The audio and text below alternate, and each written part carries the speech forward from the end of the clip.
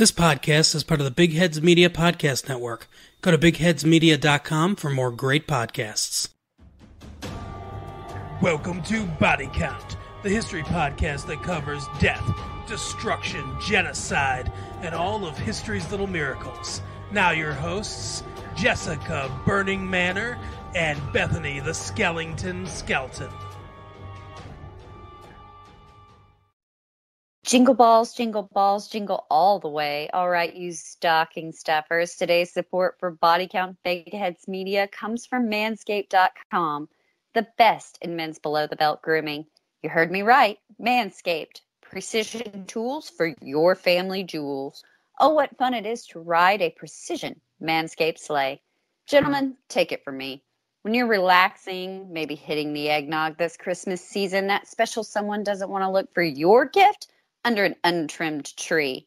Unruly holly bushes are a thing of the past.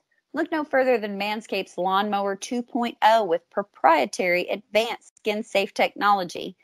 This trimmer won't nick or snag your chestnuts. Nothing makes under the mistletoe more awkward than using your face trimmer downtown. Don't forget to grab Manscaped's Crop Preserver, an anti chafing, Moisturizing deodorant for your chestnuts means cozying up near the open fire with complete confidence. You'll be ready to sit in any lap this season. Give yourself, your friends, your family, or that special someone in your life the perfect package this holiday season. Get 20% off and free shipping with the code BIGHEADS, that's all caps, BIGHEADS at manscaped.com. Ladies, tis the season to stop hinting he'd trim the tree and get proactive treat both of you with a gift that keeps on giving the whole year round at manscaped.com. Give the perfect package this holiday season with our special code BIGHEADS for 20% off with free shipping at manscaped.com. Now, to the show. Here we are talking about Romanovs again. I Bethany is trying to home from vacation drive Got yes. her in the car. we are. We are in the car. Um, we are actually going through, I think, Birmingham right now. So. oh, what fun! Oh, what oh, fun. super fun. Yeah. Bethany's coming off of an HO. I'm getting sick. My family is sick. But here we are talking about Russian history rapping about Russia. I mean, what else Rap, would rapping we be about doing? Russia. uh, I like that. I feel like that should be our thing. We're gonna rap about Russia. It should be, shouldn't it?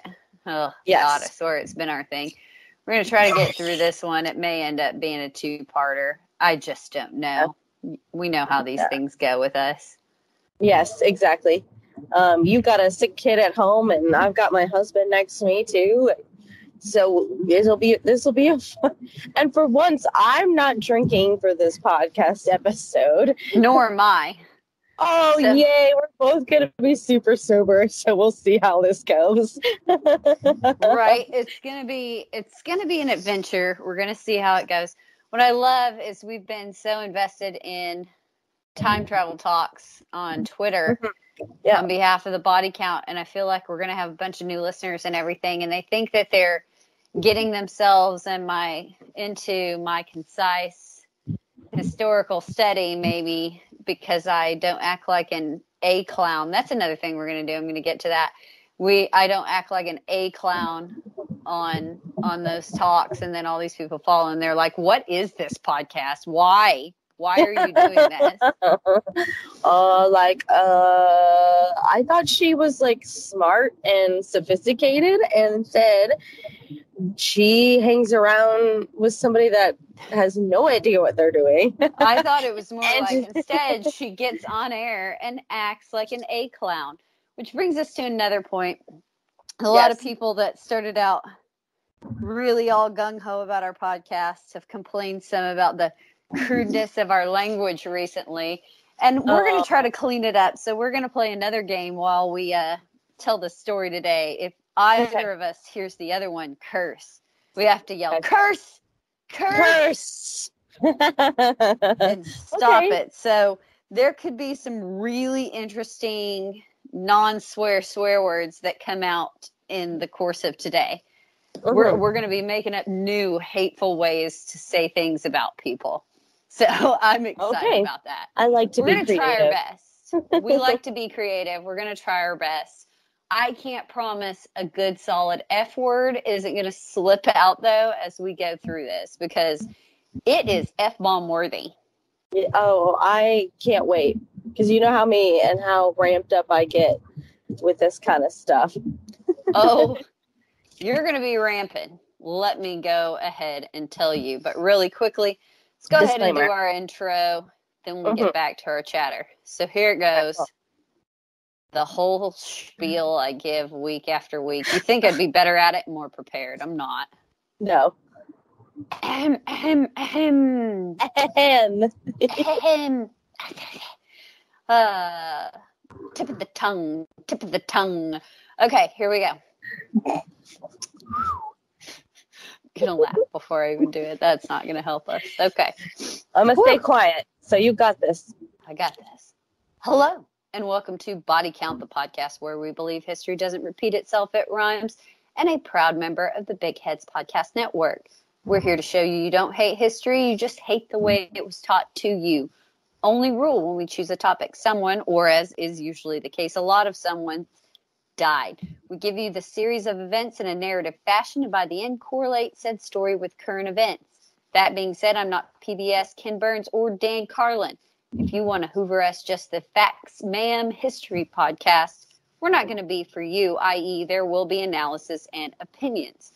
My opinions are my own. Know that I hold my co host verbally hostage.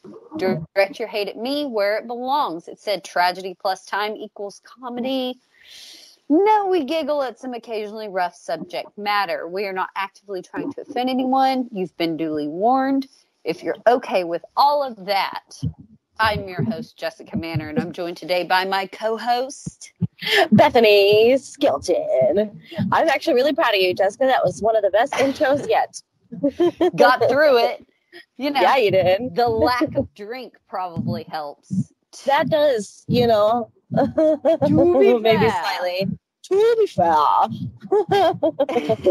it probably does. It makes for a much smoother reading when you're not actively trying to squint and figure out the English language because you've forgotten it due to drink. That's because usually that's because we usually have several drinks beforehand before we even start recording. Yeah, we like to pregame record, but we're not doing Yeah. that this week. We're No. both sober as Michael Romanov's nun Martha mother. Oh, Martha, Martha, you bitch. I mean, biatch. Hooker. Sorry. Curse. Dang it. Curse. Curse. this is gonna be it. fun. We're not Okay. gonna get through this. This is gonna be the worst. Like Oh. because we'll be mid story, start screaming curse, curse at each I other. know. Oh, it's gonna be fun as Okay. usual. A lot to get to today. More Yes. than usual to get to today. First, Mm. housekeeping. We are part of the Big Heads Podcast Network, which is a great collection of podcasts. Please go check it out. We're super excited. You can find them on social media. You can also find them at bigheadsmedia.com. Listen to all of the podcasts there. If you love the show, please, please go and give us those five stars on iTunes or wherever you listen to podcasts. Say whatever the hell you want, but do make us, you know, feel good. Just kidding. We do feel good with all the love that we get in that. Please do write a review. It helps us out very much on the business end. now, am I done with the formalities? I think I am. Yes. You sounded extremely professional just then, Jessica. It's amazing what sobriety will do for your for your radio Speech. presentation and your speech. oh god. Ah. the tip of the tongue, the tip of the tongue. Yeah, because has oddly shaped feet.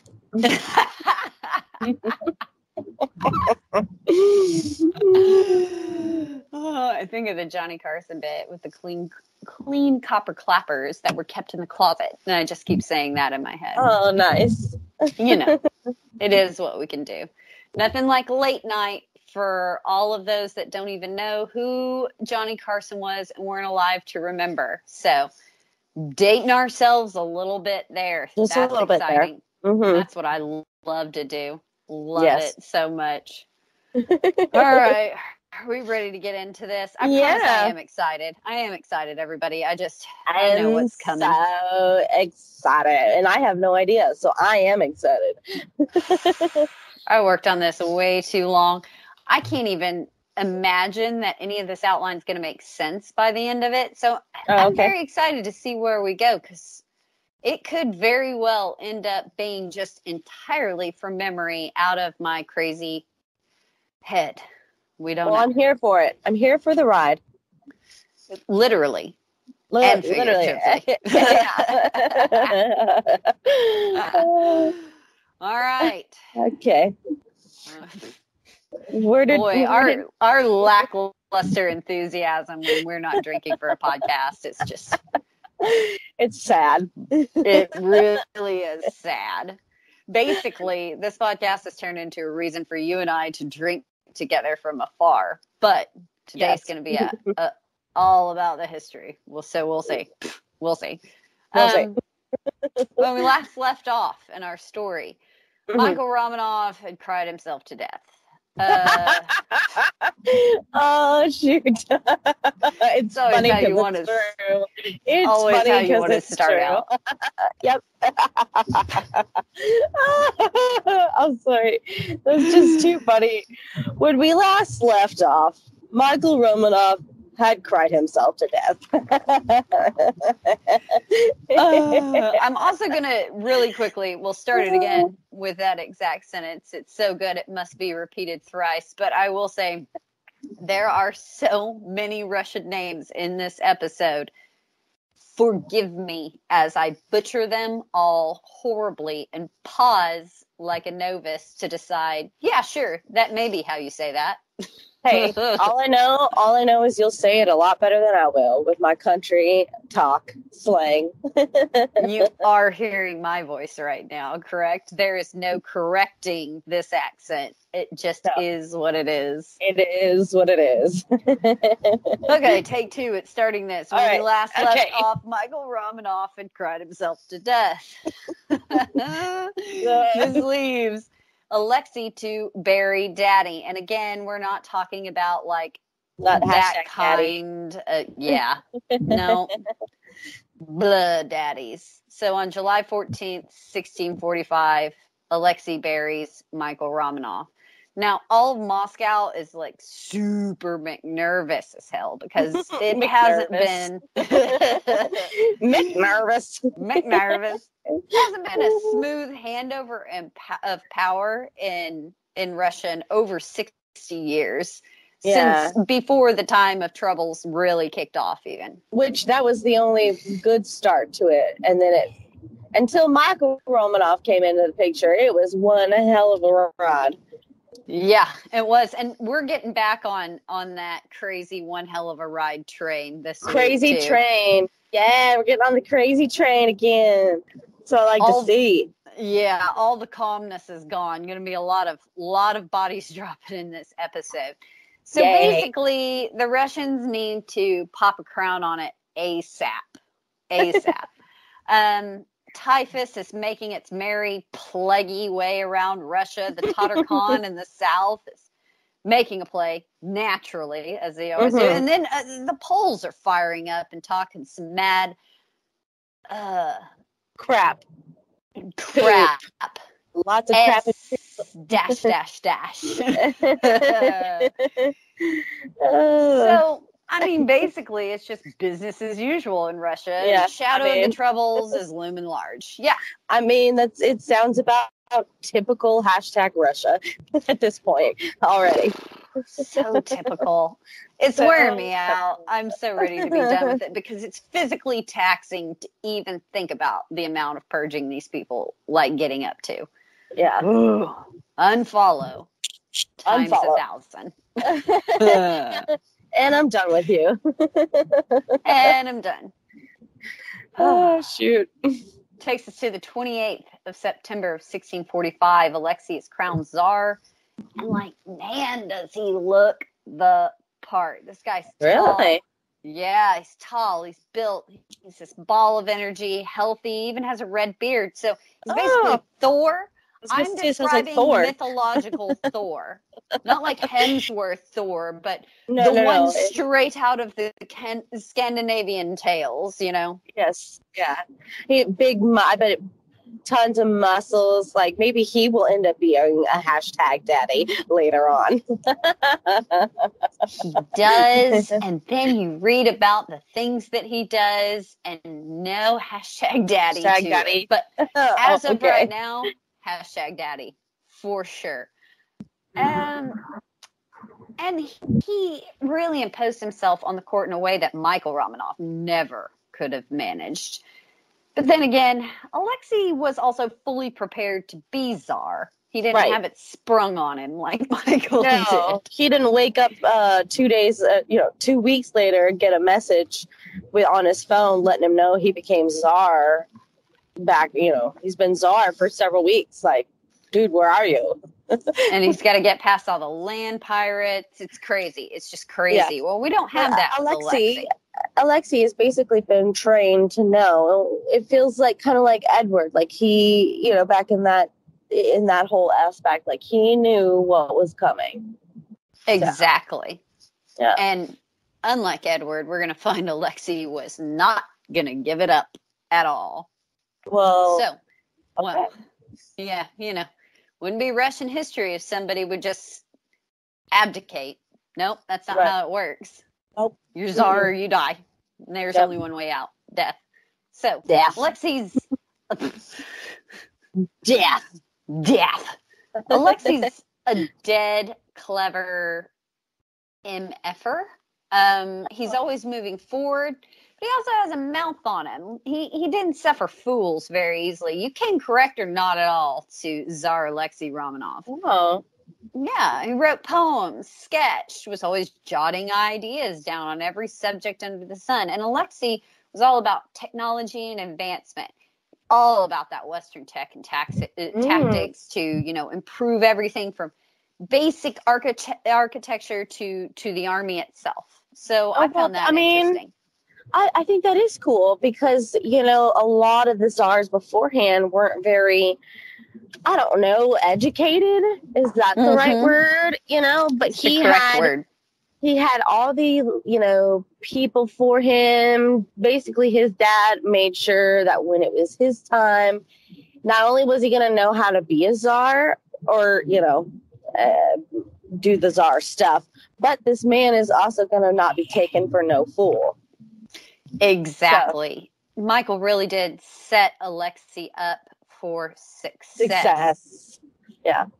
Now, all that being said, Alexi is sort of the polar opposite of Michael because, man, does he have a temper, and his rages Uh. were very dangerous. This is a guy known to, like, maybe knock a minister out if they got fresh in the middle of a council meeting. oh shit yeah, Just get up Just and go- glass I mean, someone curse. in the face. oh no sorry Curse. curse Curse. sorry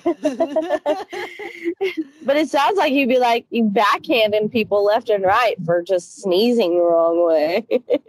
that is a very accurate assessment, actually. That's exactly what was happening. oh shoot!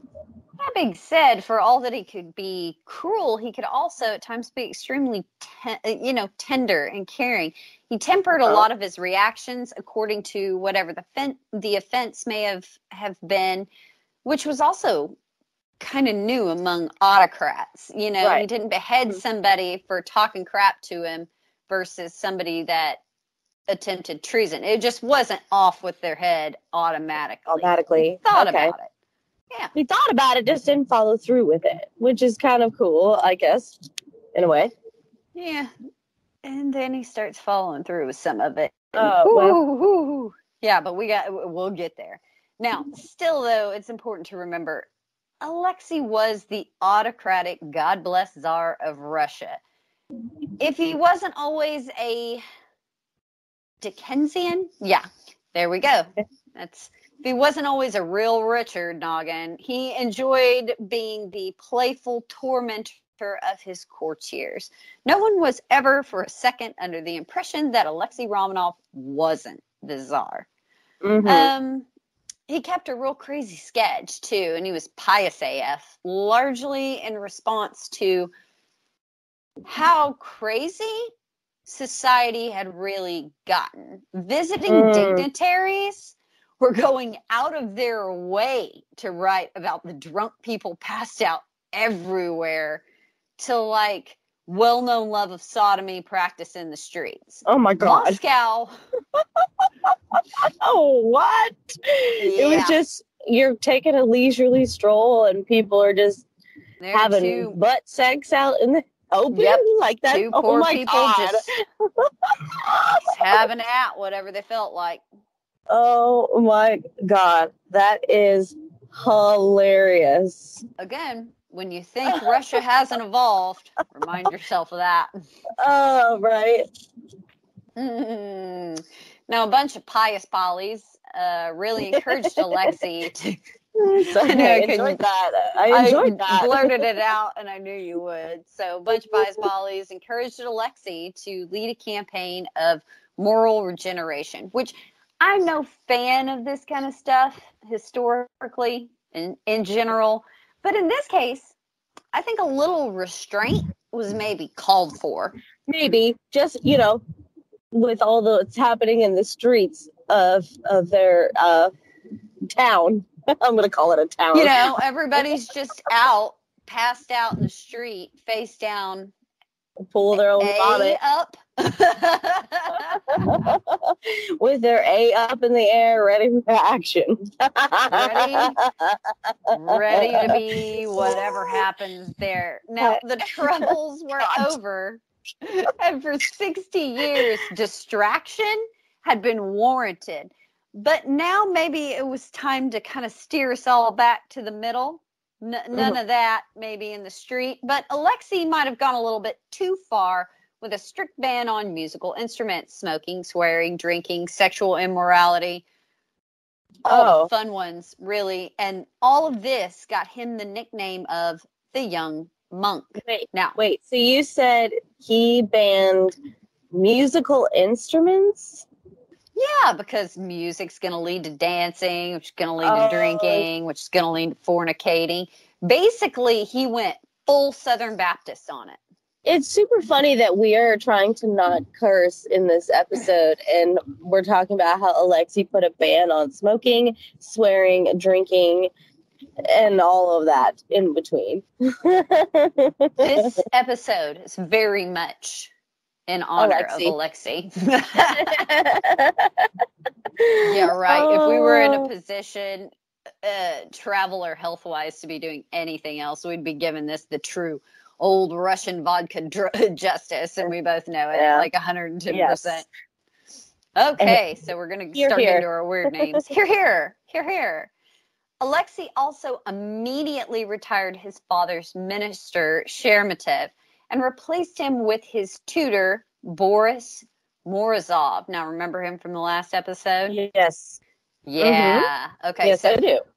Morozov gets to be the head of tons of sh- uh, stuff from tax collecting to, I don't know, head musketeer, all kinds of things. so the first thing Morozov Sorry. You went from like taxes to being the original OG musketeer. I just can't right now with you. D'Artagnan can suck it. Um, so the first thing that Morozov does holds a bride show. Of course. Oh, it would not be Romanov history if we did not have a bride show. Would it be though? It really wouldn't. No, it it would. Looking back on my notes the other day, like every other page was like, and bride show again, bride show again. Another bride show. Oh God, I think didn't they have two bride shows back to back because he wasn't happy with what the the one that he got. Right? I Oh yeah, we're gonna have some more fun bride show stuff to get to. Hold on a second, viewers. You're so lucky, or viewers, listeners, you're so lucky. I am currently applying Vicks Vapor Rub to myself and my child. Nothing says wellness like Vicks Vapor Rub. We're such old people. Oh yeah, we're a thousand. I mean, who even in the younger generation knows what Vicks is? They're just all Uh, getting on their doctor on demand apps and having a go. Not us. We're old school. Hot toddies and Old Vicks school. Vapor Rub. cheer, cheers. Oh, cheers. Uh, So, Morozov wanted the winner to be one of two daughters of his Morozov's protege. So that there's Huh. Morozov, he's got this protege he's bringing up in the court. Now that protege has two daughters. The Okay. idea was whichever girl the czar chose, Morozov could just marry the other, and boom, now he's the czar's new brother-in-law. mhm. But bride shows are always a bit of a risk, and Alexei chose neither of those girls. Ooh. hmm So the wedding was scheduled almost immediately after selection to stave off any poisoning attempts. Okay. But um, it was still possibly a little too late for that because at a public crowning ceremony pre wedding, the girl Uh-huh. fainted as soon as the crown touched her head. what? of course, How- everybody gets all Like she was just like nervous? Like I was she just figure- nervous? I figure a lot of it is ner- nerves. They're covered and swaddled from head to toe in clothes. That can't be cooling. And then you Oh. pop 15 pounds of gold and gems on somebody's head. Uh, I'd pass out okay. too. right. Hey, tell You that know? girl to not lock her knees when she's Hey, standing. Right? Don't lock them, girl. That that's 90% of the problem. But there is also some motivation. Everybody also, you know, immediately gets antsy. She's a witch, she's barren, Oh. she's epileptic, all that kind of stuff. But I will beg you to remember that Morozov's plans to get one of his picks chosen had been foiled. So the crowning accident might have been chance, but I'm going to say most likely poison. Wait, she died? No, she didn't die, but she did pass out. And remember, you can't can't have somebody Uh, passing out in front of the public. oh and yeah. say, oh, and this possibly witch is now the Czarina. Uh, Oh, remember, okay. if you got the least little bit weird, sick, it was over. for Anything. Yeah. Yeah. Okay. So, most likely, Morozov mm, did, did a little Kuzco's poison trick. If I have to, if I'm a betting woman, which I am, I'm going to bet on that. So either way, one long before Alexei suddenly encounters Morozov's choice in Morozov's apartment. And Alexei, Alexei's getting a little, little horn doggish at this time, so he's all about her. Yeah. Alexei marries Maria Miloslavsky, I believe Sure. is how you say it. Miloslavsky. Miloslavsky. That's what I say. But okay. So you're daughter doing better than me. But we're already doing better. Yeah. Hope. Yay. So she's the daughter of Ilya Miloslavsky. He marries this girl immediately. Mem- remember that Miloslavsky is the protege of Morozov. Now, Morozov. the two, Maria and Alexei, waste no time jumping on the baby train. And Maria ultimately ends up actually being a prime choice, churns out five sons and eight Oh. daughters. Holy crap. That's a lot of kiddos. Oh, especially oh. again in 16 in the 1640s. Like you're you're just churning them out in a whole lifetime and we're we're going to get it back to this because that's all going to become interesting later Okay. on. Now, not 10 days after the czar's marriage to Maria, mm-hmm. Morozov at 57 marries Maria's hot teenage sister Anna. Morozov Ugh. becomes the czar's brother-in-law.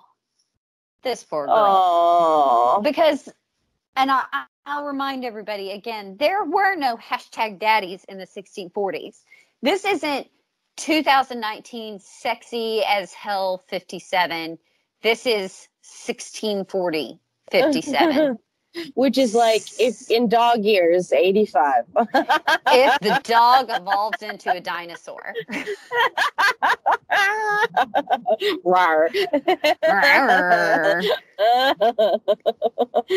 So Oh. naturally, this girl's not having the best time, and not just because she was super sexy. The marriage wasn't obviously super happy, but it would ultimately end up saving Morozov's life. Mm. Good for Yeah. him. Good for him. Good for him because he starts acting a fool, and there will be trouble in Russia when people are acting a fool. So, Morozov had raised the salt tax like four times, and he ran around telling all the people in the kingdom to tighten their belts for the good of, Moth- of Mother Russia. The truth was, he'd uh, been dipping into the kitty from day one. Oh, of course. He's a true politician. if there ever was one. Because everybody starts to take notice. Morozov had inherited very little, but somehow he's the second richest boyar in the land and his cousin the fifth richest. Mm. So it wasn't long until Morozov was the most hated man in Moscow. Because Mhm. remember, people needed salt to survive back then. You needed a preserving agent to to have to be able to even put meat on the table, literally. So this tax is just killing everybody. But the first that Alexei hears of any of this, or has any trouble with it, he's on his way back from a, prayer, a prayer pilgrimage. Mm. He's then stopped in the street by an angry mob who offer him gifts of blood and salt to show that he's Uh. safe. Think very think bread and salt, very uh very Game of Thronesy. Only in this Oh. case, there's no red wedding. Basically, they Okay. give him this stuff, show he's safe, so that they can attempt to then seek a forced audience with the czar. Not something Uh. you generally want to do, but No. Alexei was Desperate pretty cool times. about it. Yeah, And desperate times call for desperate measures. that's So- exactly right. So this mob bring pleas to Alexei against his ministers, starting with Morozov and his main man ally Pleshchev, who was in charge of governing the city of Moscow itself. So he was like the mayor. Mayor. Okay. Yeah, yeah. Then the protesters saw Plishchev and his retainers approaching, and they allowed the czar to pass and turned their attention to Morozov's pet Plishchev. Now, Plishchev was has his armed guards beat a couple of people and imprisoned even more in the crowd.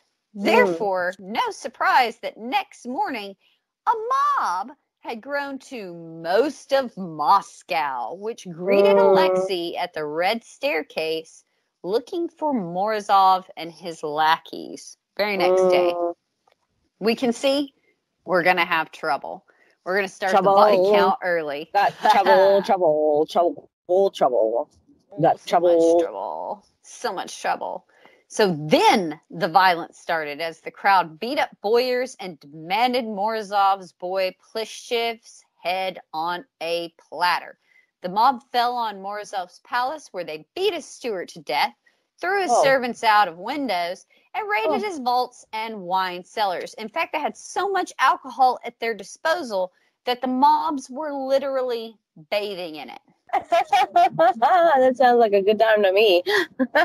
oh, we're gonna figure out just how hard these people party. I think of Roger from American Dad, American Dad. It's not spring break until someone dies. Yeah, that's that's what these people are bringing. Okay. hmm Yeah, great. So they're bathing in the alcohol, drinking it. So now they're pissed and drunk Oh, great. Good combo. in Russia. Yeah. Yeah. So thrilling, thrilling, great combo there. We're super excited about it. The mobs then raided all of Morozov's cronies' palaces, anybody that was mm-hmm. super in his pocket. So now they have even more alcohol. Oh, fun. Okay. Yeah, this is headed nowhere good. They No. catch the tax collector sick in bed. The crowd beat him, dragged him outside, stripped him naked, and then finished him off, beat him to death on a manure pile just there right outside the door. then they're running around screaming, like basically, you know, that's what you get for the salt tax, itch. This is what you get. this is what you get. You're gonna die in a big pile of manure. oh How much God. more insulting do you have to be? You've already beat the man, stripped him, just be kind, lop off his head. But no, you're gonna bludgeon to death, bludgeon him to death in a pile of of poo, Poo. and a poo Pile pile. Oh, so then this mob's real fired up, and they march on to the Terem Palace looking for Morozov and the rest of his main men. And Morozov, the chicken, ch- Poo. chicken stuff. now he has Scaredy cat. Scaredy cat. There we go. There we go. this feels weird. It feels very It does- weird to it do this, Feels Jessica. very weird. Trust me, when we get to some things, it's really going to break. We're going to lose control. Um, right now, this is tame. We've only got people thrown out of windows and beat to death in the street. Uh, so, only, only dying in big piles of manure. and what comes later, that is just fun and games. That's a party trick in Moscow. Mhm. I mean, you That's think a- jumping out of cakes is a, a party trick? Nope. they did in it better Moscow in in 1640, pinatas are just humans that you don't like. it's funny because I can actually picture them doing that. Oh yes, I can too. I can picture that for today. I'm sorry, Russia. I shouldn't say these terrible things about you, but I said it, and I don't probably take it back. I don't know. We'll see Yeah. how I feel in ten minutes. So again, Morozov's big chicken. He escapes the Kremlin. This leaves Nikita Romanov, the Tsar's very popular cousin, to wander out and address the angry crowd like he's John Wayne Western styling it and and just straight up promises the the abuses would be punished. Now, at this point, the people bless the Tsar and Nikita, but they say, nope, nope, we aren't leaving without Morozov and his henchmen. So then Nikita's like, oh, well, we don't know where Morozov is. And they said, fine, just give us Mayor Corrupty Pants Plishchev. Which, good to his word, Alexei gives Plishchev up, at which point the good people of Moscow beat him, quote, until his brains splattered his face. oh my god! Right? They Uh, stripped damn. the body naked, drug it Of through course. the marketplace, and then a monk, a monk of all things, that's how hardcore these people are, chopped the head off of the corpse. Oh shit! I mean, shoot. Sorry, that kind of. Curse, curse, curse. I wasn't actually prepared for that one. Oh man. I know. You can't be prepared for all the things that are coming. That's just metal AF. Russia is just. Uh, because at this point, after all that happens, this whole scene turns into this massive party in Moscow. Okay. Nothing like a good human pinata and then a party. What can Right. we say? Yes. L'chaim. A L'chaim. I was gonna. I was gonna say cheers, but that's way better. you know, it is what it is. But then again, why not throw a party? Because remember, they have all this free looted alcohol. hmm Uh, so Morozov manages to sneak back into the Kremlin as you couldn't escape the city at this current point in time. City is closed. Um, but Morozov returned just in time to see Alexei appoint Nikita Romanov and one of his father's old ministers, and also another cousin, Prince Cherkessky, as his current, you know, HBICs, for lack of a better term. I don't know what that is. Head B word in charge. Oh, oh, okay. I was just gonna say pot his posse. Okay, I'm gonna allow a curse. His head bitch is in charge. Okay, okay. I I really didn't know what that was. I was like, uh, what? what? What are you even so talking dumb. about? So- now you've got the hated minister removed and two guys that are super popular put in their place. This really ramps up Moscow's, you know, mob pillage party to an 11. They are Not- spinal tapping it. They were they were at a ten. Let's bring it up to an eleven. Because now they're excited and not just pissed. They're excited, pissed, and just drunk. Nothing good. So everyone, of course, is getting all crazy on their looted liquor. It's like a full scale party in Moscow. And for some reason, they start lighting fires. Oh God. Of Yeah. course. Of course. What do you think happened? Oh, I don't know. An entire wooden city burns. Because everything's made out of wood. So you know. Can I just say though, as a side note, and I'm not saying that right now I would advocate it, but this seems like a hell of a party. I mean, I wouldn't actually mind getting a chance to see it, you know. It's like it's like season two of True Blood, the way these people are partying right Uh, now. right? For real. they might as well have a maenad in their midst. They're just going full tilt crazy. But I wish that I could say that's where it stops getting crazy, but this is just the beginning of crazy in this actual Okay. story. No kidding. Uh, so then the fire is spreading around the city. The city's burning. Crowd still doesn't care. It starts getting even crazier and and improving, I guess, at this point because Huh. they find police chief's head, soak it in vodka, and light it on fire. wow. That's fun. That's fun. So they also throw the mangled body and bodies of all of his headless corpse allies that are now lining the streets into the flames along with everything Oh. else. Awesome. Yay. Now we have this burning smell of human flesh. What Oh. else could we go in more into? What? What is better for a party than Than- singed hair and flesh? Yes. Mm. Mm. I, maybe I'm taken back. I don't know though. I still might attend this party just to say like I was there. I was there. So I saw the it. co- It's I true. saw it. I watched it happen. It was I, wild. I did. I didn't partake, but I saw it. I saw it. The he, the Hadids are like Instagramming all about it right now. You don't want to miss it. Kendall I Jenner think- posted I think- something. I think she was there. It was it was awesome.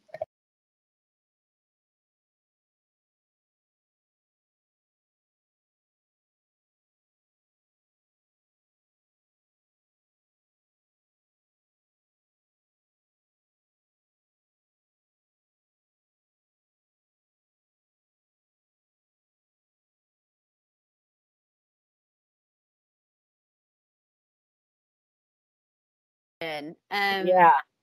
it's at this point in the history in history that English Parliament is trying planning to behead an anointed king. So there was nothing populist about Alexi's laws. This is exactly what Alexei wants to prevent in his own country.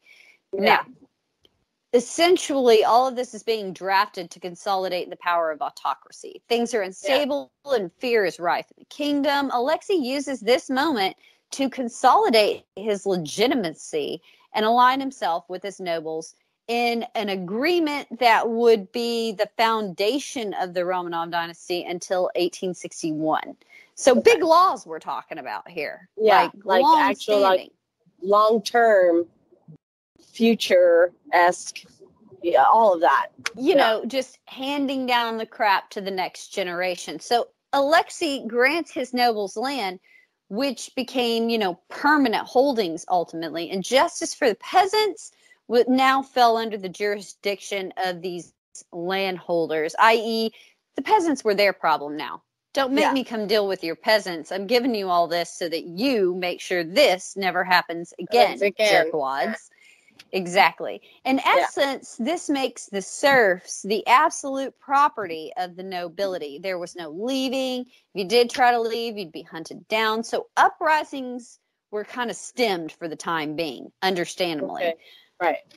Furthermore, the death penalty under these laws now included punishments like burying alive and burning alive and it was imposed for up to 63 crimes where before it hadn't been all that many.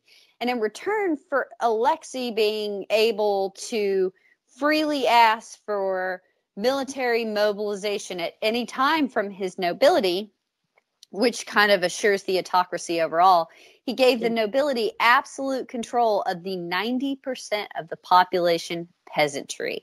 So at this point really in our story that and this is why it matters to today that we see this enduring pattern of behavior in Russia really begin to emerge. Nobility basically owning other human beings in the name of the Yes. czars servility at the top tyranny to those at the bottom. Yeah. Yeah. So now we got through all that boring part. Let's let's get back to the story story. Now Mm. that we all have just like snail trails of sand dragging behind us from the boringness of those facts. Let's get to the good stuff. So Okay. alexei feels secure enough to fire all of his ministers he's just appointed and set up his father-in-law miloslavsky with a place of some importance. Now miloslavsky was described as a creepy sex pest with his hands always in the coffers I don't think I know what that means.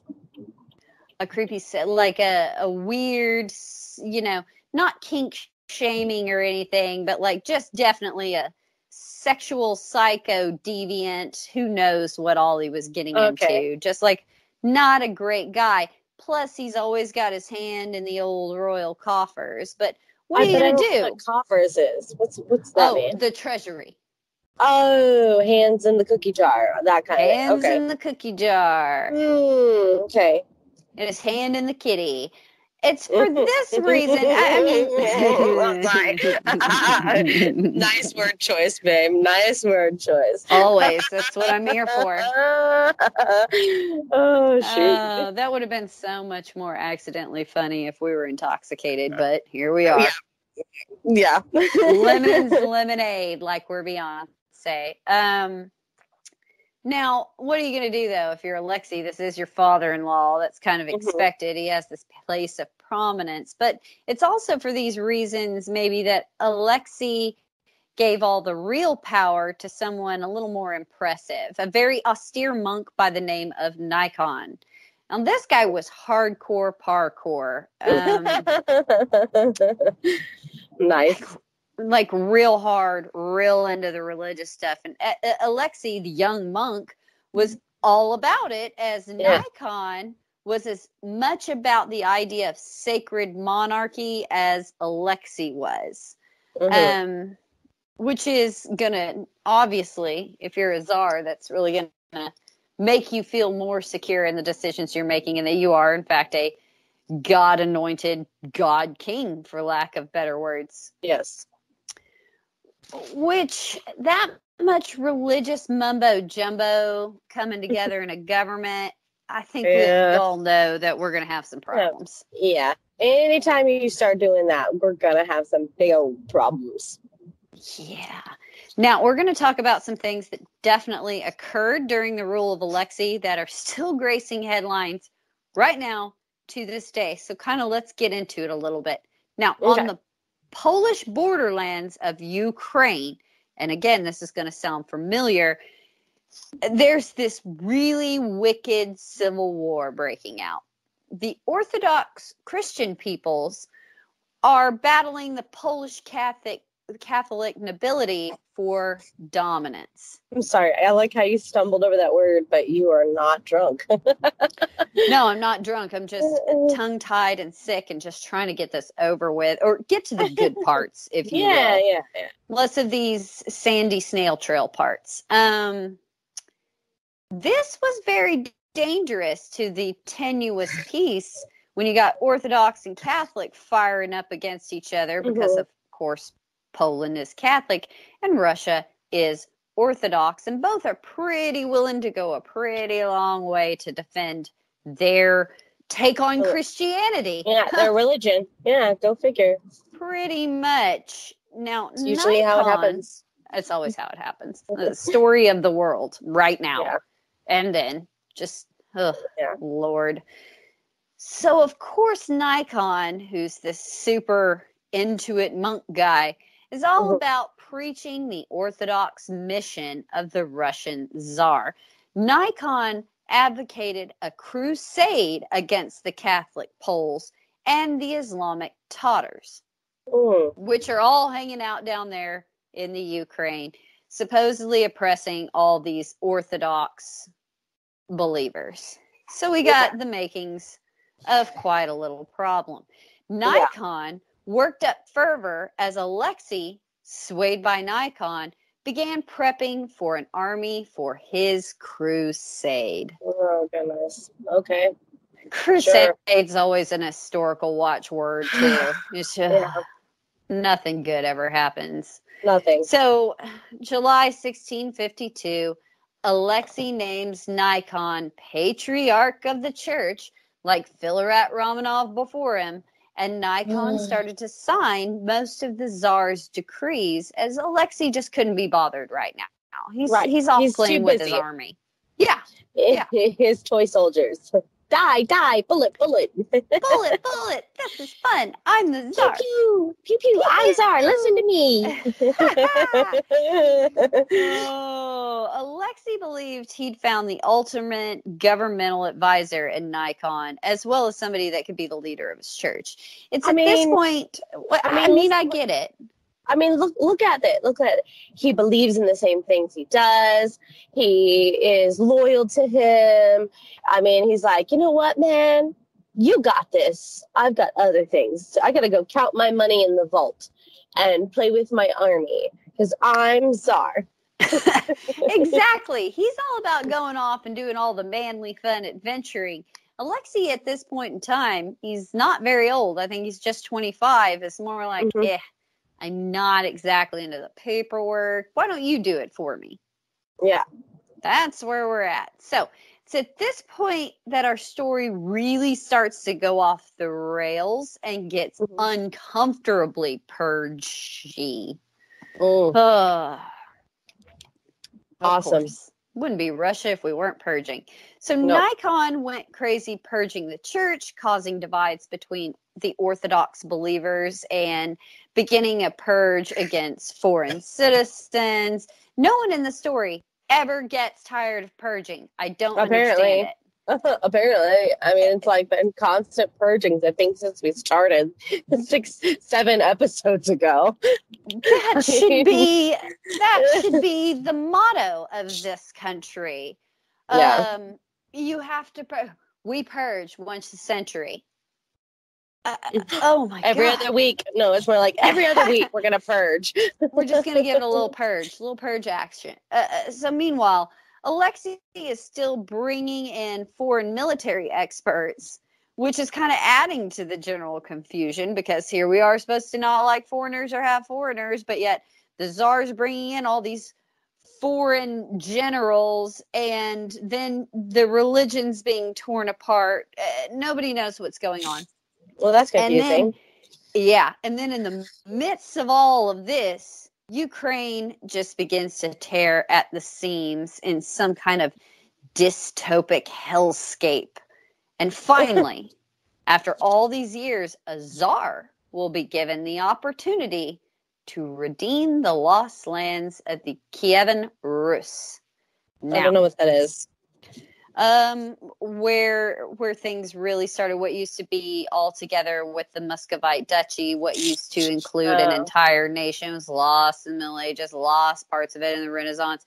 Things really started to deteriorate in the time of troubles, but now he's going to be given a chance to get the Crimea and Ukraine back, which hot Okay. button issue for Russia, as we know. Mhm. So we're going to take a little bit of a detour, and it's going to be important why we do that. The Orthodox leader in Ukraine at the time was a Cossack name, I believe it's Khmelnytsky. Uh, sure, that is not what it says, but okay. okay. All right. So, do you want me to pronounce it the way I think it should be? I was about to ask, why why don't you give it a shot? Okay. Kahimin it sky. Commit sky. There we go. Oh. Because it's K H. But I know that's You know. probably silent. So it's commence committed to. no. See, I can't even do it. There's too many letters that don't belong. Khmelnytsky. Oh, that's it. There's an L. I didn't even realize. Kamelnitsky. sure. I didn't realize there was a. We can call him that too. okay. oh, shoot. so Khmelny or now I'm re- now I can't even. oh man. Khmelnytsky, who Mhm. had served Sure. the Ottoman sultans, Polish kings until he retires to a farm. But then a Catholic noble gravely wounds his 10 year old son, and it was on like Donkey Kong. They Oh, chose the dang. wrong guy's kid. So he launches something known as the Great Revolt there in Ukraine. But uh, at the same time, don't be thinking this guy is okay or that he's a hero. No one in this entire story is really super great, but this guy, uh, let's bear with us, get to it. Um, oh God, now I'm gonna have to say it again, and I've got you Yep. in my head saying it that way. Khmelnytsky and his rebels came after the Polish Catholics, and surprise, surprise, the Jews that served Oh, as agents for the Polish kings until, you know, eh, eh, just basically all Polish nobles, magnates, the, the Jewish population really did a lot to serve them, carry out their orders. So while the pur- they purged the Catholic Poles, they also purged large Jewish communities who had found refuge in Poland and Ukraine after being violently persecuted and expelled from Spain and Western Europe in general. Wow. I feel kind of, you know what? The Jews have really had it rough, even before all that Hitler nonsense. That might be the greatest historical understatement of all time. I mean, dang, they cannot catch a break, can they? oh, they cannot catch a break. They really, really cannot. Bless their pea picking hearts. So, Khmelnytsky unleashes some crazy apocalyptic horsemen in a very Ivan the Terrible move and went banana bonkers on the Catholic Poles and Jewish communities. Um, here's how like how you did that. bonkers. Banana Yeah. It's the only I was trying to think of nice ways to put what I really wanted to say. Somewhere between 20,000 and 100,000 Jews were massacred in these atrocity, like this Jesus. big carnival of atrocities. Uh, they were disemboweled, dismembered, and decapitated. Children were, oh God, cutleted, roasted, and eaten in front of their sexually assaulted mothers.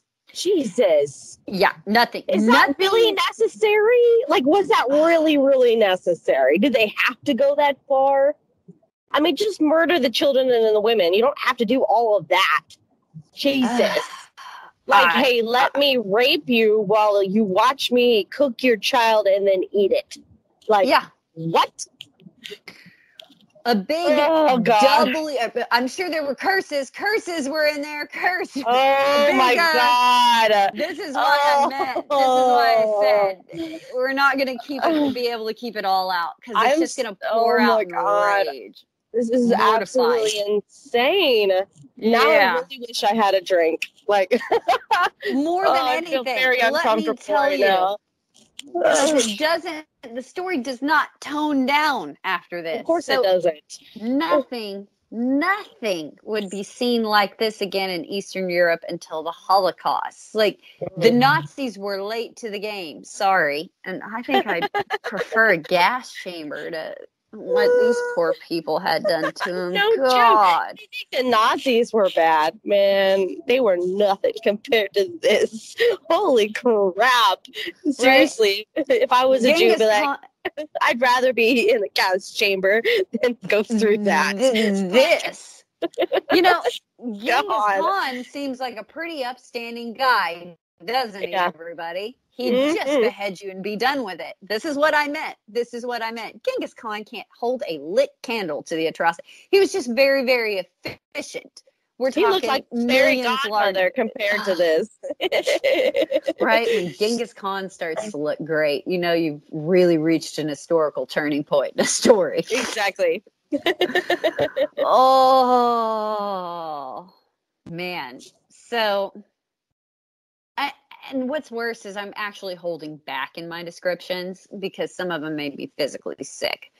But you're going to ask, what does any of this have to do with Russia and Alexei? We're going to get there. So, oh, Khmelnytsky won the backing of the Khan of Crimea and his Tatar horsemen. They defeated the Polish armies in the region. So, December 1648, Khmelnytsky declares himself the Grand Prince of Rus. But that doesn't last long as his Crimean allies desert him and the Poles defeat him. So he turns in absolute desperation to find someone to continue to back his play. And in mm. January 1654, he swears fidelity to Tsar Alexei Romanov, who in turn recognizes Khmelnytsky's hetmanate, which is basically like he's in charge of this this kingdom in the name of Russians. Now, Okay. why do I include this? Here Yes, why? For Russia. Why, Jessica? Why? Tell me why. Tell me well, why. Actually, well, Why? actually, uh, this is the point in history for everybody out there that's like, what's going on in the Crimea? This is the point for Russia in this moment in time that they believe Ukraine becomes theirs. Now, for the Ukrainians, this is the moment in time when Russia recognized their independence. Ooh, yikes. Uh, So everything that's happened since then stems from right here in January of 1654. And that is a big lack of miscommunication. centuries upon centuries of it. Oh. And the truth is, this moment eventually would become very significant, especially when some decisions are made in the USSR. But at this time, it was just an expedient path of least resistance for Alexei to make the alliance in order to attack Poland. And grabbing the UK, uh, Ukraine under his czar crown is a plus, right? Mhm. Alexei's not thinking all of this. He's just thinking, all right, Ukraine is mine again, you know, like my Yeah. crane. Um, My crane, not your crane. not your crane. you think it's your crane? No, it's my crane. Oh, the level of our jokes is so cheesy when we're not so drinking. Dad. Yeah, so no, dad, not hashtag daddy. Again, these are the most non hashtag daddy episodes ever. Remember, Alexei's crusading. He didn't really have time for anything or any forethought, but holy warring against Catholics. So Yes. Khmelnytsky pledged 20,000 Cossacks, and Alexei declared war on Poland in 1654. Now, before Alexei leaves, he gives Crazy Nikon the title of Great Sovereign, which was last held by Filaret Romanov. Mhm. You could say that these two's relationship was a lot like Michael and Filaret's, except as we will come to see, Nikon is no Filaret Romanov. But we'll get to that later. Yeah, Um, Mhm. Alexei marches on, on Smolensk and showed some great military prowess as he racked up a victory. Oh, Alexei took right. This hasn't happened yet in our story. A Polish war is thus far going successful. Hadn't happened since Ivan the Terrible's earliest days. So Alexei took Smolensk and 30 other small, t- or 30 other not small, but really important holdings. And the distance and experience gave him some time to kind of reflect on some of his decisions as czar thus far. Okay. Oh, oh, okay, so he gets a win, and he's so like, I need to reflect on my life. I need to Oh, think about my life. I've been successful on my own. What am I doing in my country? Okay, maybe not the time, brah. I mean, he would always Yeah. love Morozov, um, who he'd come to. Uh, he, he would he would love Morozov, but he knew that wasn't a great decision, and he would absolutely end up despising his father-in-law, Miloslavsky. And he begins to ask himself, literally out loud in front of everybody, how he could trust such two-faced men. Like, oh, okay. Meanwhile, everybody's like, just man, I'm just trying to chill around the campfire and be cool on this balmy wartime night, and you're sitting here thinking aloud and making us all uncomfortable. But whatever, you're the czar. This is your show. Yeah. Ugh. Everybody February. laughs uncomfortably. I don't Alexi. know. You're so funny. I don't know how you could either. Uh, Ah, you're great. February 1657. Alexei is welcomed back, parading 60 Polish standards, which no one had managed to do since the early days of Ivan the Terrible before he, you know, lost his marbles, like he's the old guy in Hook. Um, yeah. so Alexei took note, however, as he found Nikon to be very domineering now that he was back at home for a little while. Kind of almost overstepping his bounds and power, messing with the Czar himself. But still, for the time being, Alexei allowed him to remain great sovereign and go- sovereign as govern, you know, govern at home. He would rather just go back to war. He's not done Mhm. playing yet. This Yeah, is a young having guy. fun. He's having, too much, fun. fun. Like, and there's no doubt about. I'm sure covering yourself in military glory is far more fun than than signing papers and passing laws. Mm, Yes. Uh, Alexei is. He's just war partying too hard to stop and deal with whatever is rotten at home right now. So, further, Alexei captures Minsk, big portions of today's Ukraine, Belarus, and Lithuania. He's really racking up these victories against the Poles. But no- nothing lasts forever, Bethany. of course. Of course. Because Sweden perks up its little old ears and takes notes of all these victories. Mhm. Somebody's getting now? more than us. Mm-mm. Do one now? You could be our neighbors to the east and the south? No. No, no, no, no, no. We're not fans of that. So they uh, get a little worried about an ever growing and strengthening uh, Russia. And uh oh, spaghetti. The Swedes take a dump on Alexi's war party and invade. I love how you put that. they take a big old dump on your your war and party. Your war and party. Right? You think you're having a good time now? Yeah, we're gonna stop that. Welcome Yep, to the we want you. invasion. Welcome to the invasion. Enjoy yourself. So Alexei should have made peace with the Poles and then turned his attention to the Swedes. But No, he Nikon doesn't. ins- he doesn't. He takes more bad advice. Nikon insists Alexei attack the Swedes and worry about the Polish later. Oh no. Ugh, yeah, remember, Alexei is apparently like taking a break from thinking and ruling. He's just here to fight now. So Alexei Apparently. begins a two front war, which everyone knows is just the worst idea ever in history when you're like party and war style. No Yeah. two front wars. Who does this mofo think he is? Napoleon? Like, who do you think you are? Who do you think you are? Ugh. Now, the Swedes were a European power fresh from the little game of the 30 Years' Wars. So they've been warring all this time. They're feeling pretty good about war fun. They're having more than Alexei, let's put it that way. They're Yeah. united, they're powerful, and they knew what the hell they were doing. So Alexei automatically finds himself in a crazy quagmire. But what's worse is the problem that is Nikon.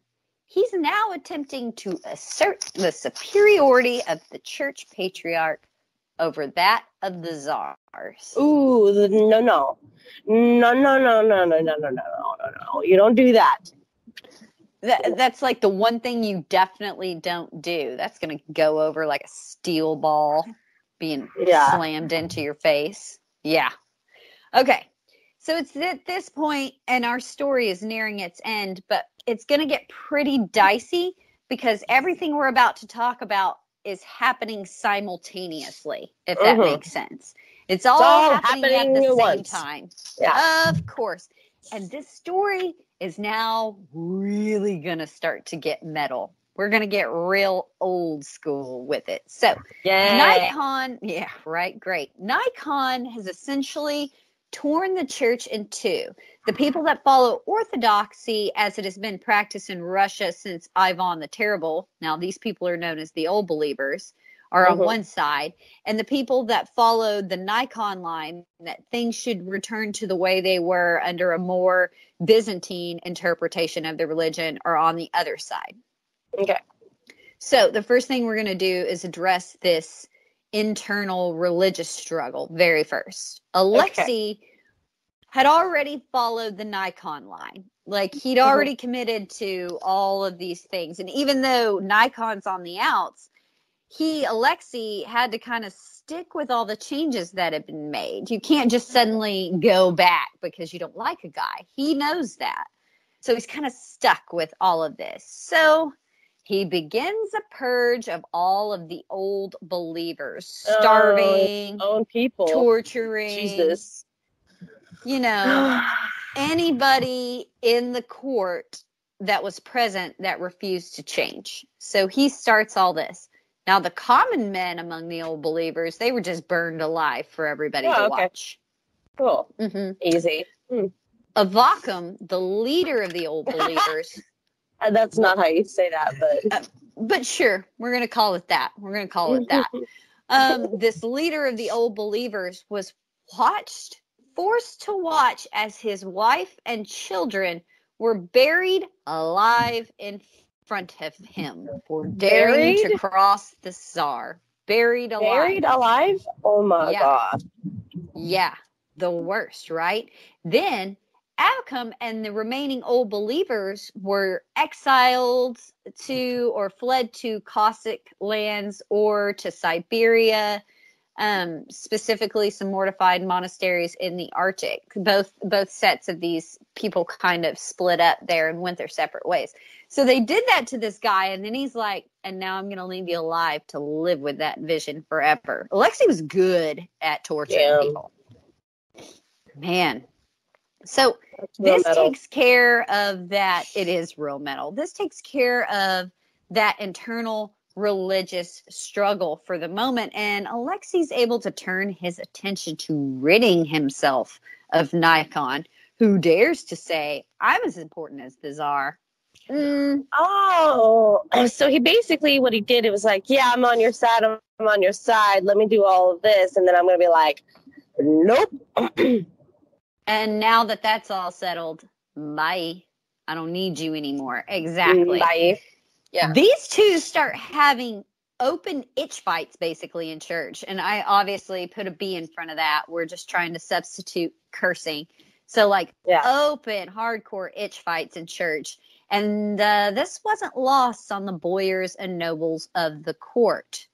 They Mm. quickly lined themselves up to get rid of Nikon. And oh, okay, cool. yeah, they're on Alexi's side, but they see the chink in the armor, and now they're going to do everything they can do to get rid of Captain Crazy, basically. So Yeah. they had long been whispering among themselves about how insufferable and self righteous Nikon was becoming because Nikon had changed from that simple monk that he started out Yeah. he, he had set up his own miniature version of a court. He was sporting jewel encrusted robes that were so heavy he could hardly stand while wearing them. Huh. And then on top of that, he's having like weird nun sex parties Oh, in his God. in his house. Yeah. Okay.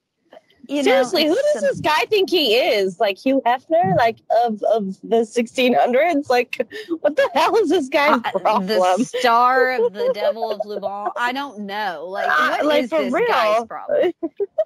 Either way, you get the picture of where we're going. It's like, what you you give a mouse a cookie, you know? You give a patriarch a palace. Here you go. You give a patriarch a palace, he's gonna want, want some jewel encrusted robes. God, story's so ridiculous. Um, it didn't take long for the tension, understandably, to reach a real breaking point. And Alexei didn't Uh-huh. even tell Nikon in person that he was no longer the great sovereign. Oh, he oh sent someone else to do it in this weird game of Russian like court whispers or telephone. You know, like whispered into Yeah, the yeah. guy next to him and it goes down the chain. Hey, hey, tell tell so. Hey, will you pass this to Peter? Tell Nick's Nikon he's not the great sovereign. Okay. Hey, Nikon is great sovereign. Like it gets gonna get messed up. I was gonna say Like- it's gonna get all confused. I'm sure that first he was like, Nikon is the donkey sovereign. Excuse me, sir? What? What is? What did you just say? Yeah. I, I'm only gonna repeat myself once, so uh, pass it along. Um, Pass it along. Oh wait. Nikon has a big donkey ding dong. I don't know. Is that what he said? Is that what he said? Is that what that was? Oh. oh God. Whatever. However long it took for Nikon to figure it out, eventually the news reached him. So he tries. Nikon tries to call Alexi's bluff. Nikon Oh my God! I thought you still- meant. I thought you were gonna say he tries to call him. Be like, um, excuse me, just call me. Don't do the stupid me. game of telephone. Could you tell the czar to pass it on down the line? Start his own game of telephone. you tell him. A bunch of vicious, like descendants of I or of on the terrible are playing telephone as to who's not king number two anymore. No. Um again, so Nikon gets the point, but he's gonna try to call Alexei's bluff, and this is great. Nikon's still patriarch of the church. He puts on a big show mid church service. He announces to the congregation of Moscow while Alexei is posted up right in front. I can, and this is a quote I can no longer be your shepherd. The great sovereign has violated his oath. I have to leave this temple and this city. Then, in front of the now scandalized congregation, Nikon takes off his uber expensive clothes and puts on a plain monk's cowl and stares at a at Alexei, waiting for him to be like embarrassed, I guess. You know, like if you he's sitting there, he's made this big public scene thinking that Alexei's gonna give a crap about it and be like, oh no, I guess you can No, stay. I'm sorry. You can stay. I'm sorry. You poor thing. You poor guy. Yeah, right. Because everything we know of Alexei indicates that that's going to happen. Huh. Yeah. Um, Mm-hmm. no, it was it was the wrong move. Alexei just sits there, stony face, not blinking, and just stares at him, basically saying, "Well, like a then go." stare contest. Okay. Like he Then totally Hello. he booth powers that like or powers boost that like at the end of tombstone you know that well bye. Bye. like that's basically exactly what alexi did. That's what i pictured in my head when i read this and i just laughed for an hour. So I just can picture like a staring contest going on. Who blinks first? Is the loser. And has to leave. exactly. He's standing there in these oh. inchy robes like everybody's staring at him. Meanwhile alexi's sitting there with eyebrow eyebrow cocked being okay you're embarrassing Bye. yourself But okay. You're embarrassing yourself. God, what are you, my girlfriend? Get out of here. Oh, Oh shoot. it's what Nikon does. He does leave. And he should have stayed gone. But no, he tries to show backup, which stirs up trouble with all the new followers of Nikon's version of orthodoxy. So Alexei just has enough. Nikon has tried, deposed this monarch, and shipped off in permanent exile in Oh, some wow. Siberian fortress. Yeah, what fun. So any internal rival to the czar is now eradicated. There are Yeah. no more patriarchs. The church is just now an arm of the monarchy. So Okay. the czar was able to say, like, the absolute sacred vessel of God in Russia. The autocracy is now more absolute than ever. So we've really cemented it, what with the laws, and now there are no more patriarchs. There are no There's more leaders just of the church. the czar who rules over it all. Oh, okay. I mean, who is okay. What what is it that we always say? King shit of turd mountain. Yeah. yeah Mhm. that's it. Curse. Curse. curse. Curse. Uh, so on top of all that alexei's kind of also returned from war a very different czar. He's kind of dropping that young monk routine. So i'm sure that made having nikon around even more annoying. Hmm Alexei's gotten a glimpse of how the Polish lords were living, and he's slowly changing his mind on all that austere monkish nonsense. He starts Mhm. buying fun things, hosting fun events, taking a- actual pleasure and joy and stuff, um, embellishing his palaces. He starts to live for the first time like a true king. Hmm Uh, it's not all it's not all bad either. He hires scientists and artisans to join the court. He brings some 2,000 foreign officers in and is reforming the army further, re- incorporating even more new tech. Um, and now that he's rid of Nikon, Alexei decided every ruler needs to diversify when it comes to carrying out orders, and that he Okay. needed a chancellery to carry out those orders. He creates the new Office of Secret Affairs. And then he Oh. starts doing some really weird, uh, Shiznizzle. shiznizzle. Shiznizzle. Very nice. I like it. shiznizzle. Like anyone, anyone that might miss like a dawn church service was taken from their beds by this new super secrety office. Their hands were tied behind their back and they were just thrown into the river. Now What? these boyars, yeah, yeah, What? these boyars could have frozen to death or drowned if they didn't make it back to shore under their own power. Yeah. And then what's worse, Alexei would be standing there and saying things like, Your reward for staying in bed, you know, with your wives when you should be celebrating the lesser of this blessed day. Really weird stuff Whoa. like this. Yeah. That sounds like cult like stuff. Like it Yeah, really kind of That's does. basically it. The cult of the czar. I mean, he's just running around on this campaign of weird bullying. He is. He's trying to start a cult with him at the Yeah. center. Uh, it's it worked though.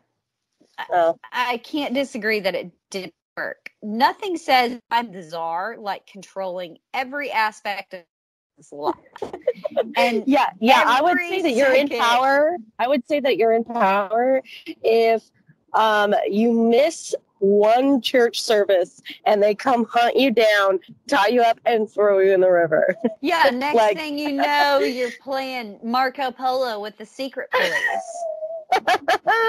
Marco Polo. Marco. Well, Marco. Nope. I guess no more polo. They drowned. That's what you get. Going, what just happened?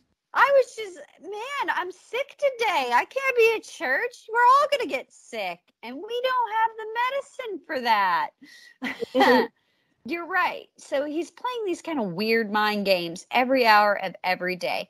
Alexei put all the courtiers in their place every every chance that he got. He was calling everyone out. Everybody is on constant pins and needles. After the Nikon debacle, no one at this point is ever going to forget who the czar actually is anytime soon. Anytime Mhm. soon. So that's what I mean by it was ultimately effective. Weird, Yeah. but effective. But effective. It Uh, worked. I mean, It did work. was, you're right. It was weird as hell, but it got people on board. or overboard. On board or, Or- overboard. Bad dad joke just then. That was awesome. God, we cannot be sober for this podcast. Now, while all of this is going on at the same time as everything else, remember we're in a tight spot still with the Swedes and the Polish. Oh yeah, And things are looking, forgot. yeah, I kind that's of forgot. going on while all of this is happening. So things are looking pretty disastrous because the Poles and the Swedes decided to make peace with each other. Oh, Turns out they could reconcile their differences long enough to tag team Tag Russia. team Russia. I knew it. Tag team it up. Tag team them. Tag me in, bro. Tag me in. I'll get them from the south. You get them from the north. Yeah. Mm, It's a big old Russia bad sandwich. so then to make things worse the cossacks and the tatars that had, you know align themselves with alexei in the first place get a better deal offered to them by poland and they turn on him Oh. too Oh. so yeah oh surprise surprise so a polish cossack tatar coalition routs alexei's army killed some 40,000 russian men and he lost a whole bunch of his brand new real estate. But Alexei finally makes, finally, finally, Bethany makes a good choice and appoints a competent minister in Mhm. Nashokin. Because by this time, he's done with people like Morozov and his idiot father in law, Miloslavsky. Mhm. Alexei is seriously not fond of his wife's family by now. So Nashokin recommended not only a peace with Poland, but an alliance, if not a union. Now, while Nashokin is addressing the problems on the war front, things on the peasant front aren't going very well. No. So the this war when is it ever? when is it ever? This Okay. war is putting this massive amount of strain on the entire country. And so then Alexei's going to have some serious issues to contend with at home while Nashokin sorts out the war mess that Nikon made. Mhm. All of this stuff is happening at the same time. That's It what's sounds crazy. like a big old pot of crazy stew. And I feel like we've Oh. had some crazy stew before. this is some real crazy stew. So we're going to cut to Alexei and his family in a church outside of Moscow. Another mob surrounds the palace, pisses all get out. The crowd is calling for the head of Alexei's idiot father-in-law, Miloslavsky, who Alexei allowed to be, for whatever reason, the treasury boss. But yet he didn't So- like him. Yeah. No, But yeah, I- you're I gonna think make he him- loved his wife, and she gave him a whole bunch of kids. He's trying to be cool, like it or not. This family is now his family, you know, kind of thing. What are what are you, what's a young czar to do? So this idiot Miloslavsky had devalued the currency with copper, so money's Oh. now worth a lot less Oh no. you know, because back then they counted on being able to actually melt down the coins or to trade the coin. It was based on a gold standard. Mm-hmm. Nobody had faith in a currency, a global currency. yet. You know, that didn't exist. So Alexei tried to reason with the crowd while trying to summon reinforcements from Moscow. Not But- yet aware that Moscow is also in revolt. Yeah, yeah. He of course he didn't know. Okay. then things get really weird. Alexei's then accosted as he tries to make his way back to Moscow. Big Oh. mistake. Big Yeah. mistake by this mob. He was manhandled, but his retainers fell on the crowds with extreme prejudice. Many were slaughtered. Um, but I'm going to say if you were killed right then and there, you were one of the lucky ones. Those that Oh. were arrested were taken to Alexei's torture chambers for daring to lay hands on the czar. Huge groups were hanged at once. Others were Oh, man. left to rot on gibbets alongside the road to Moscow.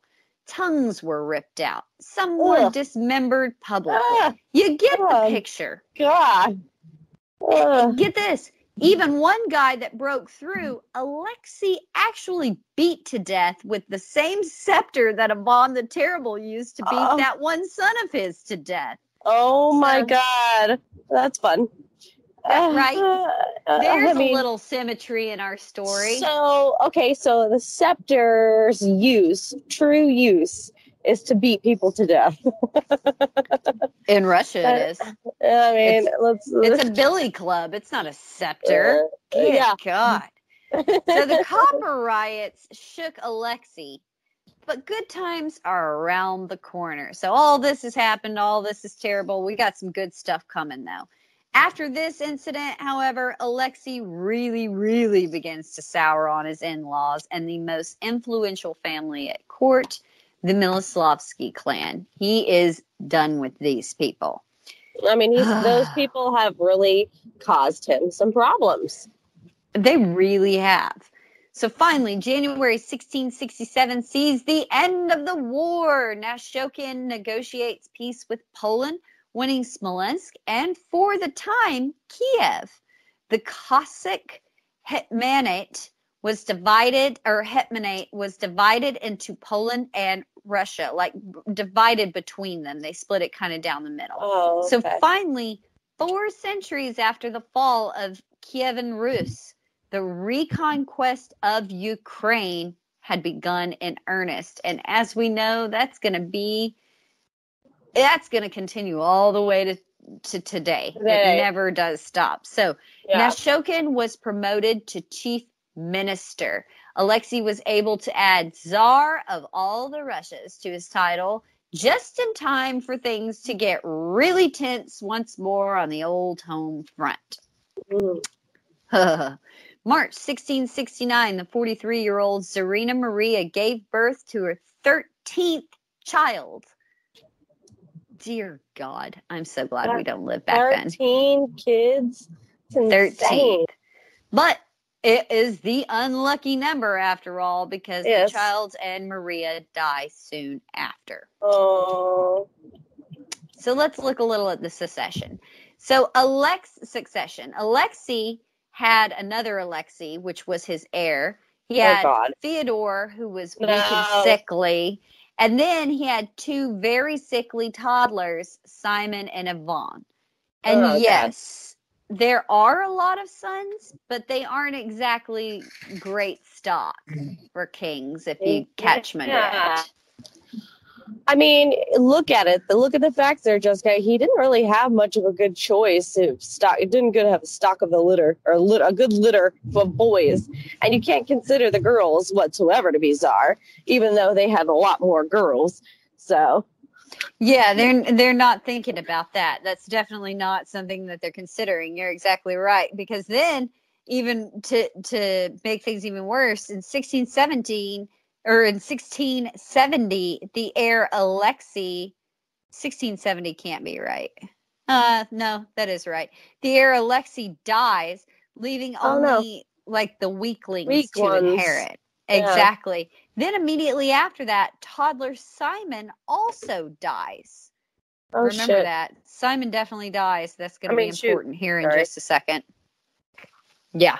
So this leaves us with sickly Theodore, who's now the heir, and the only other possible heir is the handicapped toddler Ivan. Oh god. So it becomes imperative that Alexei marry again and make some more sons ASAP I because knew it. no one's liking these odds. You're exactly bride right. show. Bride show's coming, isn't it? Woo! Oh man. and this, Oh, this time God. around, this one definitely isn't a fair one. So there were really only two contenders, despite the bride show and all the rigmarole. So the previous Czarina's family that was related to the current heirs, you know, like Mhm. the current Theodore that's going to inherit his family is the Miloslavskis on the mother's Mhm. side. They start pushing hard for their pick for the new Czarina. However, the idiots accidentally sabotage their own girl, and Alexei turns his attention to the protege of his childhood friend, Matveev. Now wait, hold on. How did they how did they sabotage her? Oh, they try to write a bunch of letters that are delivered to Alexei that they meant to be targeting the their rival, but he takes it to mean the other girl that they're actually backing. Oh, oops. Idiots. Idiots. So this this girl that's the protege of his friend Matveev, this girl, Natalia Narshikina, um, was kind of something the court had never seen before. Matveev's wife had heavily influenced the girl and her raising. Now, the wife's name was Mary Hamilton, and she was the daughter of a Scottish Catholic refugee from Puritan England, which was something the Russians were definitely not used to. Mm-mm. Mary wasn't hidden away, of course, but well educated, well dressed, and free spoken in a house full of all Western sophistication. Mhm. There are actors, musicians, paintings, even mirrors. Remember, those are all Oh, yeah. Mm-hmm. banned for the well bred w- Russian women. Yes. Like, because some monk in the 16th century said they were full of demons. Yep. hmm No, sir, that's just your own reflection. Hate to break Yep. it to you. Surprise, surprise. oh shoot. so super hot Natalia Naryshkina was of this school of thought, basically. And Alexei chose to wed her in the end. But just as the wedding was about to take place, an army of runaway serfs and old believers start toward Moscow, led by a Cossack mercenary named Stenka Razin. Razin? Razin? Okay. Razin? Razin. Let's go with that. Nonetheless, the Tsar decides to get hitched to Natalia anyway on January 22nd, 1671. And not only was she interesting and different from what he was used to, but the czar's eldest daughter was older than she was. Oh shoot. Yeah, and boy, did these Miloslavsky daughters not care for their stepmommy, not one little bit. Um, I'm going to say it was probably a little bit about jealousy as much as about family promotion. Alexei's Yeah. daughters had been well educated, which was different. Alexei chose to do that, and they were very intelligent. But here, the czar allowed his wife all these freedoms while they were to stay locked away in the Terem palace with like no mirrors or makeup. Um, Wow. Yeah. It can't be overstated, though, in the end, how much the Miloslavskis resented the Narshikin, uh, Narshik, Narshinkas? Yeah, Natalia's family, Narshinkas. And Matveev, her protege, or you know, her her sponsors, they Yeah. resented the hell out of these people's presence on the scene because they were usurping all of their power. So in the meantime, Alexei's celebrating the defeat of Razin with a different ceremony. So Razin was tortured on a platform in the Red Square after Alexei just crushes this uprising. And Mhm. he was tortured in a way specified by Alexei. So this is like right after the wedding, this happens. He was Okay. whipped, his limbs were dislocated, then forced Ah. back into place. He was burned Ah. with red hot iron, cold water was dripped on his head, you know, one drop at a time. He was dismembered, quartered alive, beheaded, and then his innards fed to dogs while everybody watched in the Red Square. Oh, What a wedding gift, right? Is that some hardcore weird BDSM stuff happening? Like That's some Jeff- Jeffrey Dahmer's perfect date night, is what that like is. for real.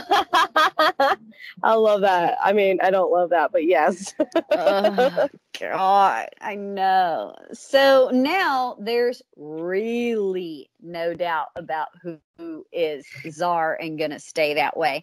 But the legend of Rez, or Razin, Rezin, Razin would plague the Romanovs I see for raisin. years. I know it can't be that, but that's what I see also.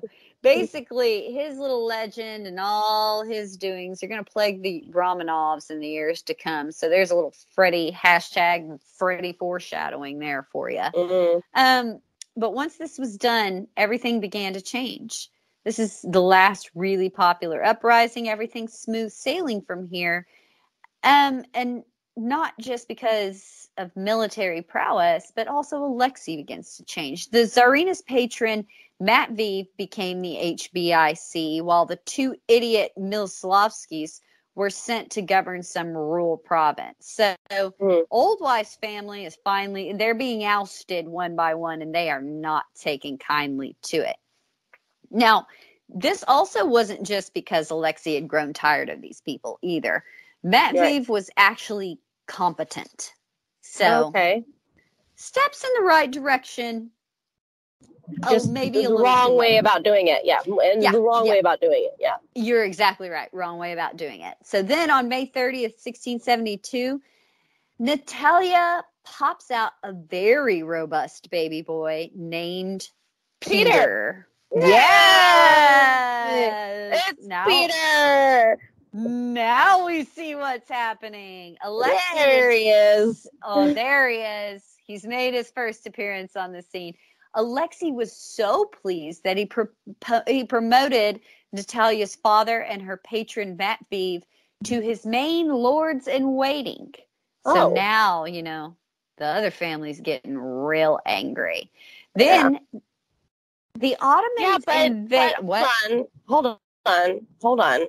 I get that they're getting angry, but their ticket in has died, and unfortunately, she did not produce. Uh, she produced a lot of children. It's not about how many children you produce; it's about how many uh, stay alive.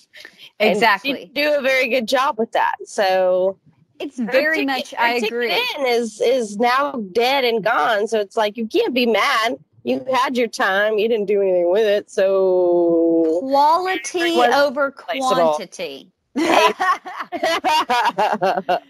exactly. And then even if she'd have been gone, this family had more than enough opportunity to make themselves useful.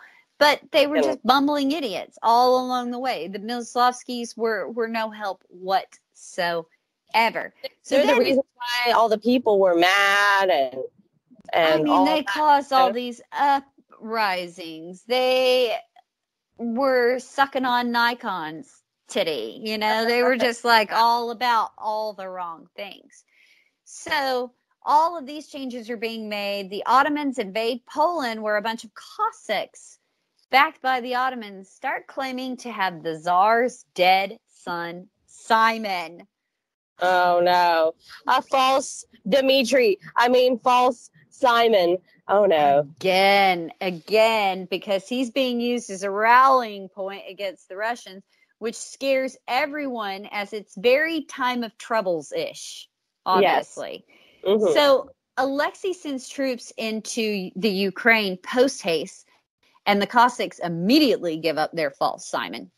And then this false Simon is tortured in the Red Square, where his limbs are hacked off and the body is impaled while still alive through the rectum. oh my Sweet. god. The- You know what? They can't Lord. even just hang people anymore. They got to remove body parts and shove it up their poo hole. Like, what is happening here? I know. God, that was a great description. poo off I- body parts and shoving it up poo holes. I mean, it's just like good gravy, man. Like, just I, I miss. You know what I miss? I miss the good old days of just chopping off their heads and be Right. done with it. I miss that, and I To never thought I would say that. to return to a simple beheading would just be magic. But like no, I would be okay with that. I would We can never just do. We can never just behead somebody. Apparently. God. Not in this story. No. No. But it does make quite a statement um because there's not going to be any more false anything let alone false simons i can promise you Mhm. that not when that happens oh this this story has been so body count worthy it really is. i wish we could have drank for this one but alas it is the way it is um so Alexei finesses around the whole Ottoman situation there in the in the West as he really starts to change things in Moscow. So Okay. palaces are renovated, no doubt inspired by Louis the Sun King in France. Alexei is commissioning the first ever play in Moscow based on Mhm. his romance with Natalia. And crazier still, Natalia and the children were allowed to watch it through grills. Weird. He didn't think she'd become some weird sex pest all of a sudden. He enjoyed it so much that he built a theater and palace of amusements on the site of his for, of his former father-in-law, Miloslavsky's old palace. Boy, that's an insult to injury. and then his family mean- and dwarves. I mean, think about it though. Just like you get some prime poo-tang and you start to turn around for the better. That's exactly right. Now life is fun. I'm not just having to uh uh uh whatever. Produce thirteen uh, not healthy children. I on got one good. Yeah, I got I got one good one, and she is hot and fly, and I'm gonna do whatever she wants, and I'm gonna do better. Exactly. Suddenly we're all having a good old time. Who knew? Who knew? Like I said, this family and freaking dwarves. He gives Natalia 22 performing dwarves. Okay. Gone completely is the austere young monk of old. Alexei's finally loosened up and is having fun with it. You know, he's a Mhm. fun czar now. Yeah, But more importantly, I'm not a regular it's- czar. I'm Ah, a fun czar. cool czar, right? super cool czar. Super cool. I listen to the lute just like everybody else. Thank you very much. Uh, I I'm hear down the green homies. is the rage. I'm down. I'm down with the homies. I know what's up, what's down, what's cool. I know what's happening. I'm a part of this. Not only is Alexei enjoying himself, the court is finally allowed to relax and enjoy themselves for the first time in years. Czarina Natalia was allowed to show her face in public. Ooh. Then she goes out unveiled in an open carriage. She's popping out from behind the screens in church. Like, Wow. whoa, wee. Let's slow down. Baby steps here, people. We're having too much fun. Um, Alexei begins holding these massive parties at which he would outdrink everyone. Now he is Thor. Now he's gone full Thor with it. Once you go Thor, you never go back. right? You just don't. You're just ready to Thor it up. It's Thor times now. Exactly. So fun had returned to Moscow with Natalia Nevshinka and her family of cultured, basically backbone havers. They didn't just kowtow to the czar. They pulled their weight, and then Natalia brings joy into this dead court. But amid, Yeah. Amid all this fun, little Peter was allowed to play away, have fun, and be seen. He wasn't locked away in a palace like all the other kids and like Alexei had been as a child. And Yeah. man, was Peter a precocious child, kicking open doors to diplomatic receptions, running amok to Alexei and Natalia's delight. They loved They're having the boy around. That's adorable. That's adorable. They're the they're the parents that let their kid run around the restaurant screaming, going, "Oh, isn't he just precious?" yeah, except for that kid's not a future, you know, czar or prince or anything. Although Peter's not going to be czar at this point. Nobody's thinking Peter. They will later. We'll Yeah. get there. Um, so, you know, the czar and his young wife are visiting their pleasure palaces all the time. Meanwhile, little Peter's falling around in like a miniature, small, gold encrusted carriage with like dwarves riding oh alongside my on God. miniature horses. Everything's just crazy and fun where we had no fun before. The young family is all about it and they're all about spending their time together. This was something Moscow hadn't seen. No more monk crap. Alexei is finally living like a czar. Mm. Still, the enmity between the czar's former in laws, the Miloslavskis, and the Narsh or Natalia's family. Narshinkas, Natalia's family, the Narshikas and Matveev, was simmering all angry under the surface. You know, and Peter's only Mhm. four. It seemed unlikely, though, at the same time, that Fyodor would even outlive Alexei. But alas, he did. Alexei, only 47, fell ill. oh, Yeah, and there's nothing for it because the czar was suffering from cardiac failure. oh there's no. nothing anybody can do. You know, that gets people today. So imagine back then, you were really in trouble. Yeah. His heir, Theodore, was so ill, he had to be carried in on a stretcher into the death chamber to get his father's blessing and last bit of advice. And then Alexei was saddest to say goodbye to the young Tsarina Natalia, saying he never would have married her had he known that he wouldn't live much longer. Because Aw. Alexei was legitimately afraid for Natalia because his love would no longer have his protection. And Miloslavsky would ultimately be the czar. So on the 29th of January, 1676, Alexei Romanov I died.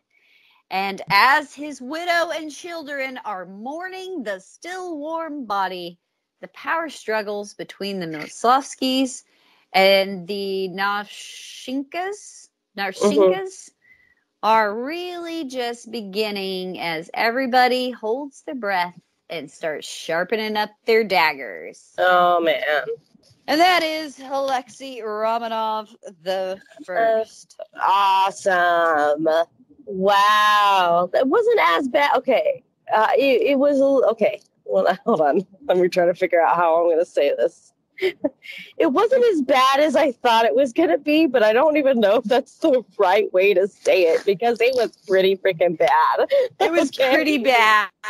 I mean, we It dropped bad. 40,000 in an army. We had endless mobs tortured and dismembering and impaling. Uh, yeah. This is a pretty bad one.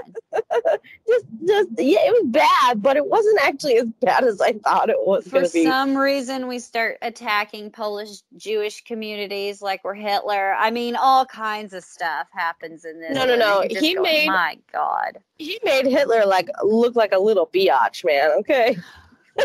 In method.